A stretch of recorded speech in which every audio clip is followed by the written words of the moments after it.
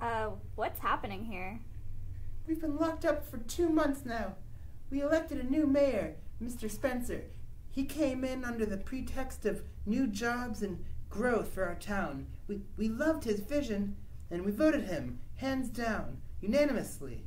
But He's turned this town into a forced labor work camp and even locks us up here at night. He says if we go home, we'll waste energy that we should be spending on work, doing silly personal activities. Well, but, but we need to be quiet, because cause he thinks even talking is unnecessary and wasteful.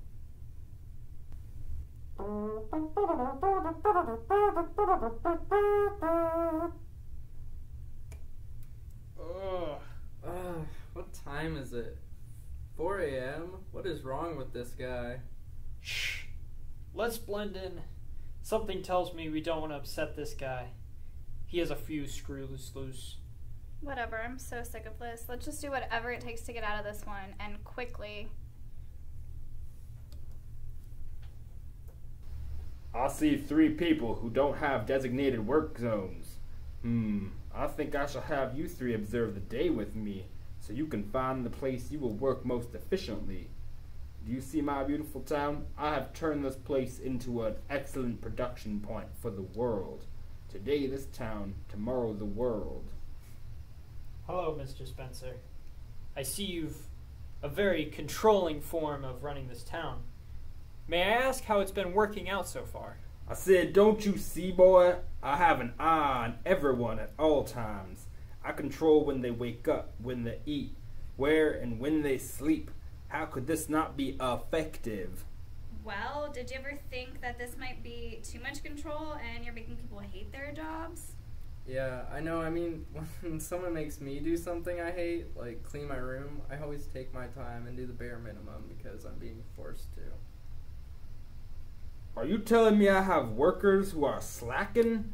Or I'll just have to raise my quotas, lessen sleeping hours. Whoa, great idea. Let's just make people hate what they do, hate it even more. She's right. I don't think that will work. Why don't you let them choose what job they should do instead of assigning them and let them live in their own homes?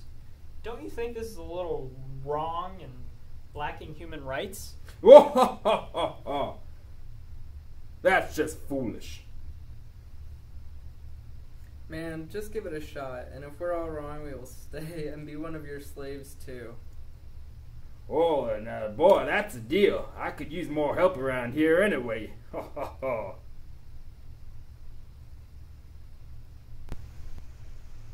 Hello. Anyone working, you are free to leave. This is not a joke.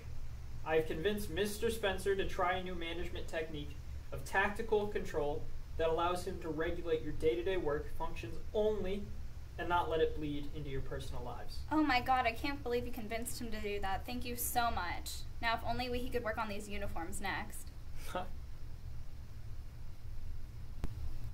Wow, thank you guys so much. I haven't felt this well rested in months. I'm actually looking forward to going to work, Mr. Spencer. Well, it looks like my thinking got the best of me. You three were right.